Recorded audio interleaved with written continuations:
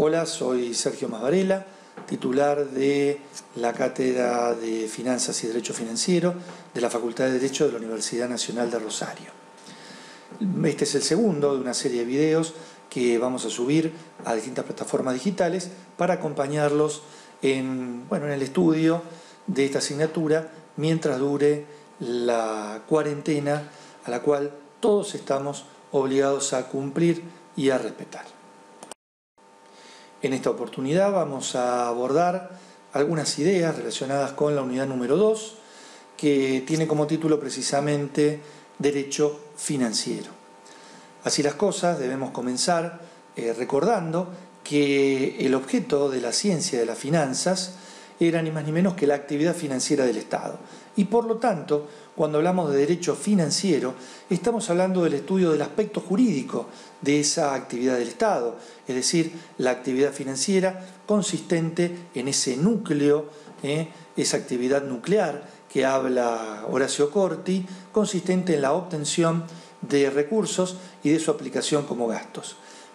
Precisamente, eh, los recursos, los gastos, la presupuestación y el control constituyen, recordarán, ustedes, eh, los momentos constitutivos de la actividad financiera del Estado. Es por ello que debemos recurrir a estos momentos para identificar el contenido del derecho financiero.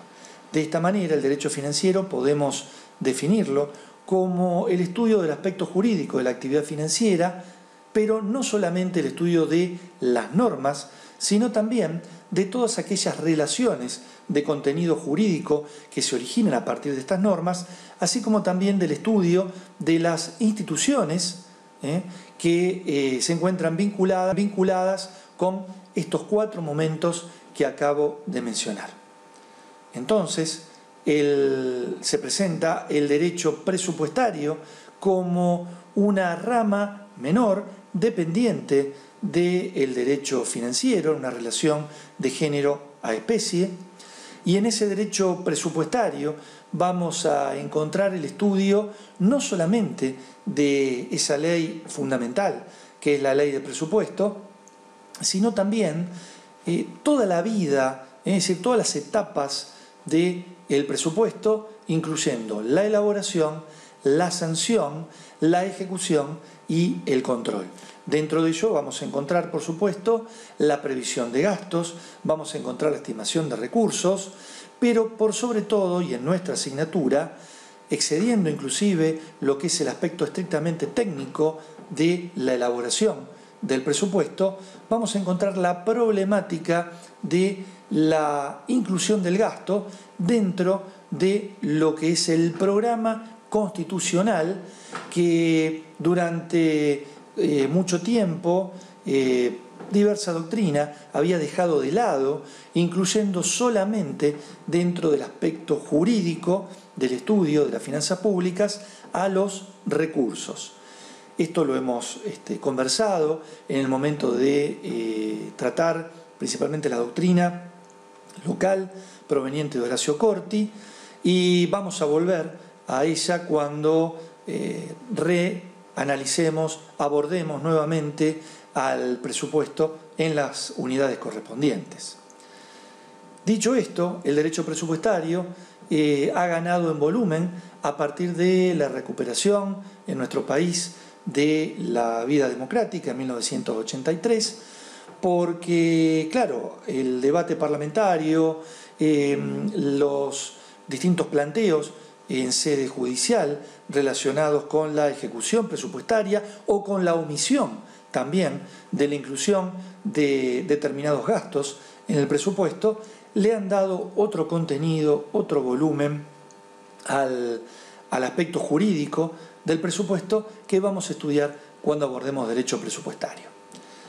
En segundo lugar, también debemos considerar que otra rama dependiente del derecho financiero en esta relación de género a, especie la encontramos en el derecho tributario. El derecho tributario que va a tratar ni más ni menos que el aspecto jurídico de esos recursos tan importantes eh, en todo Estado moderno, que son los recursos tributarios. Y así las cosas, tenemos que eh, reconocer que el derecho tributario ha tenido un desarrollo eh, muy importante, sobre todo durante el siglo XX, eh, tanto desde el punto de vista legislativo como también doctrinario y jurisprudencial. También encontramos otra rama que se ha desarrollado principalmente en las últimas décadas, que es el derecho del crédito público. piensen ustedes que el endeudamiento es una de las fuentes de recursos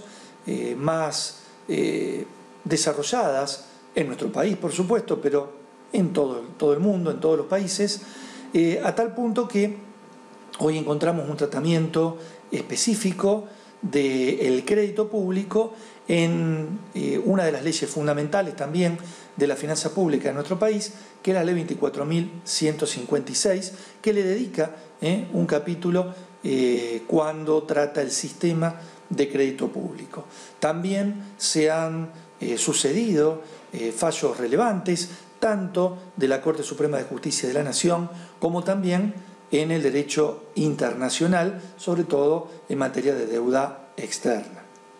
Otra rama del derecho público eh, y del derecho financiero en, en particular es el derecho monetario, que va a regular todo lo que eh, se relaciona con la emisión, circulación de moneda y también eh, lo que es el derecho cambiario, ¿eh? es decir, la relación entre la moneda local y la moneda extranjera. En este sentido, la ley de convertibilidad, los fallos vinculados a,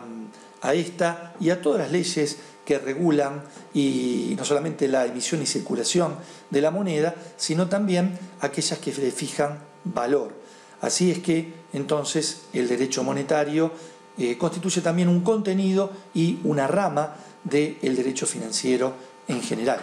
También encontramos el derecho patrimonial público. En este sentido, tenemos que reconocer que no ha tenido un desarrollo significativo al punto tal que podemos decir que el, derecho patrimonial público, eh, es decir, el tratamiento jurídico de los bienes del Estado, su gestión, su administración, eh, le corresponden al derecho administrativo. En relación a la autonomía del derecho financiero, recordemos que hay eh, tres corrientes doctrinarias. En primer lugar, una que le niega autonomía, es decir, una existencia como sistema, ¿sí? Eh, como sistema eh, de normas jurídicas independiente de otras ramas del derecho. En este caso encontramos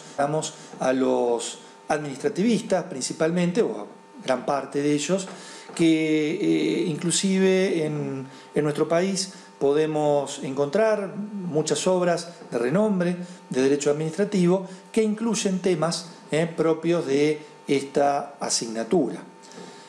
Una segunda corriente doctrinaria le niega autonomía al derecho financiero en general, pero se lo reconoce, eh, le reconoce esa autonomía al derecho tributario en, particular, a partir de este desarrollo que mencionábamos hace un rato. Aquí podemos encontrar gran parte de la, doctrina tributarista y dentro de lo que son los referentes de derecho financiero a Dino Harach.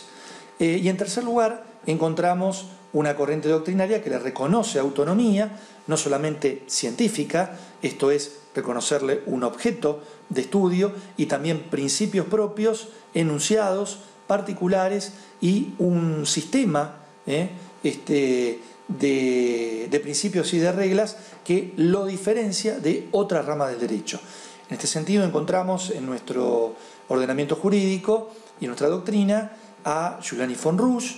eh, y en materia internacional a Sainz de Bujanda en España eh, y a al propio Benvenuto Griciotti en Italia. Esta posición es la que entendemos desde la cátedra, eh, surge como lógica, considerando que el, derecho financiero, al abordar a la actividad financiera del Estado en general, también lo hace, por supuesto, a todos estos aspectos que hemos mencionado anteriormente, incluyendo el aspecto jurídico de los tributos. Así que surge eh, de manera lógica esta vinculación de género-especie entre el derecho financiero y el derecho tributario. Para finalizar, eh, debemos decir que el, material de esta, de esta, segunda unidad, de la cual hemos dado algunas, algunas ideas este, breves, lo pueden encontrar eh, en los libros generales de Derecho Financiero, Giovanni von Rouge, Villegas, eh, pero también en algunos artículos que resultan interesantes, propios de Horacio Corti, también con su libro Derecho Financiero, pero algunos artículos que eh, nosotros vamos a acompañar para que ustedes puedan desde sus casas acceder de manera inmediata.